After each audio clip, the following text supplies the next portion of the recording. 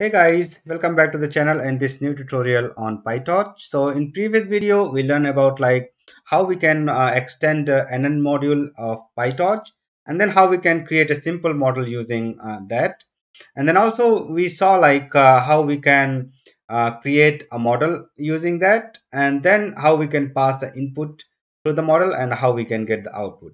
Okay, so in this video, we will continue and learn about uh, another uh, important module, which is a, a, linear module, also known as a, a simple neural network. So uh, in in um, simple neural network, we have uh, input, which is here input data x. It has uh, four elements, and then we create a weight matrix, okay, which is also like uh, um, learnable parameter, we could say, and it should be of dimension what the dimension input is coming, one of the dimension, and then what dimension we want the output to be okay. And then we have this optional uh, bias um, and these two uh, matrices are randomly initialized and then we learn them for a particular data set okay and then the forward pass is simply this. This is also known as transformation. So what we do is uh, we simply multiply the weight matrix with the input values and then sum the bias with it and we get z okay?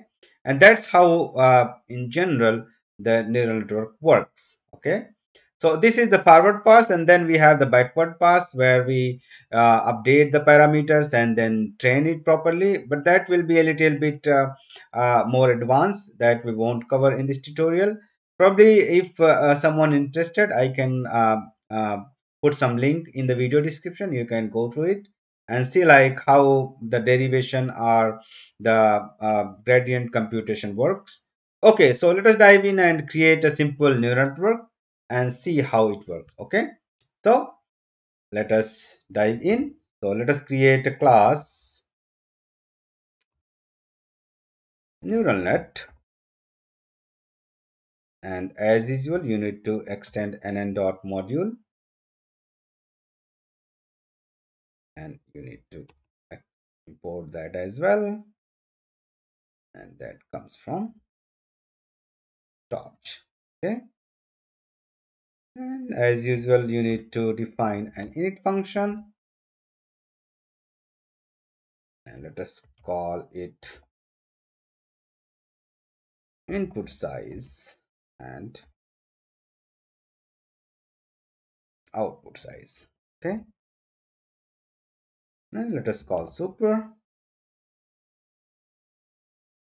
And let us define a simple network with one layer. Okay? So let us call it self dot nn is equal to nn dot linear.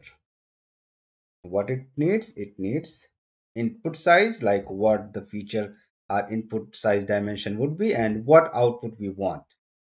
Okay? What would be the size of the output? Also let us print like uh, self dot nn dot weights and then let us also print self dot and then dot bias okay. And now we need to create a simple forward method. And let us pass inputs.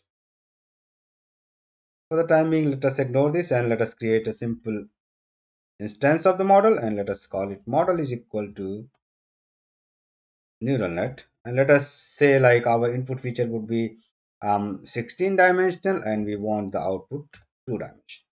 Okay? So let us run and see what it gives us as a weight and bias. So let us run and see it.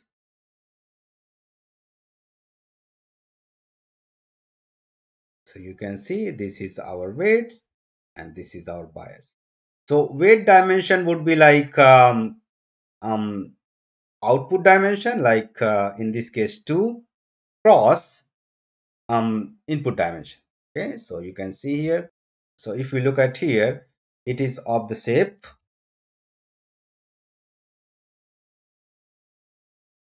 so this shape is like 2 cross 16 okay and this one is of shape 2 okay so in general the weight shape is like output cross input and the bias shape is output.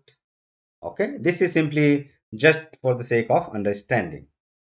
Now let us create a simple dummy input and pass it through the network. So let us say we have a simple random input. Let us say it x is equal to torch dot rand and let us create like uh, 4 cross 60 okay? So you can think of is x is a batch of four samples that has input size 16 okay? Now let us implement our forward pass as well. So what we will do is simply return self dot and nn dot and then we simply pass inputs. Okay and now we pass the x through model and we get the output. We can simply say output is equal to model x. Okay now let us print output. That will be exactly like 4 cross 2 because we have say we have told the model to be output uh, of size 2 okay so let us run and see it. So you see we have four samples and for each sample we get a two-dimensional tensor and we get a um, 4 cross 2 dimensional tensor. Okay? So now to understand a bit more details you can see here like uh, uh, what exactly are the parameters of this. So nn dot linear require in feature out feature and bias is by default true. We can specify device as well whether we want to run it on gpu or cpu also we can uh, define the data type as well. Okay? So the default uh, operation that it runs is simply it multiplies the input with the weight matrix which is simply we have seen here this weight matrix and then it simply aids the bias with that. Okay? So this is how um, in general the linear layer works. So you can uh, you can think of it as a simple neural network which has a simple one layer. Okay? So this is uh, i hope that is clear. And uh, in this video we will stop here. And in the next video we will continue learning more um, uh, layers from nn module. So thanks for watching. Bye for now. Take care. See you in the next